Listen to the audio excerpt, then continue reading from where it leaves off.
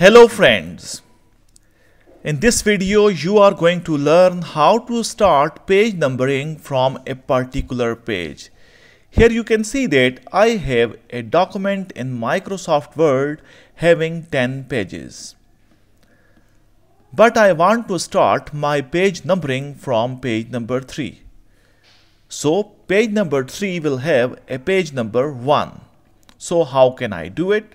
First of all, I will insert normal page numbering. For this, I will click on Insert tab. Then, I will click on Page Number. After that, I will insert a page number. Now, here you can see that I have page number 1, 2 and 3 and page number 3. But, I want to have page number 1 on page number 3. My, my page numbering will be started from page number 1. So what will I do? For this, first of all, as I want to insert page numbering, I want to start page numbering from page number 3. So I will break the page on page number 2 at the end of page 2. For this, I will click on I will move my cursor to the end of the page number 2 then I will click on layout. After that I will click on breaks. Then next page.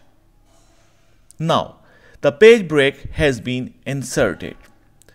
After that I will select the number 3 on page number 3. Then I will click on insert tab. After that I will click on page number then format page number and from here we have two page numbering options. One is continuous from previous section, the other is start at. Check the start at and type 1 and press OK. Now, you can see that the page numbering has been started from page number 3. Here is page 1, here is page 2 where I have used the option of page break and here is page 3 where again the numbering has been started from page number 3. Now